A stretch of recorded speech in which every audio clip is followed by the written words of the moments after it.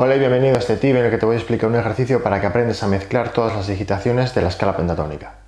Bueno, lo que suele pasar a los guitarristas cuando se aprenden las escalas pentatónicas, se aprenden las digitaciones, pero se aprenden las digitaciones unas aisladas de las otras, es decir, tocan el modelo 1, el 2, 3, etcétera, pero no entienden cómo conectar eh, las diferentes digitaciones. Entonces, un buen ejercicio para evitar esto, para que se entienda cómo se conectan, es tocar eh, tres notas por cuerda, es decir, conectar modelos al mismo tiempo. Por ejemplo, el modelo 1 y 2 en la menor quedará estos trastes.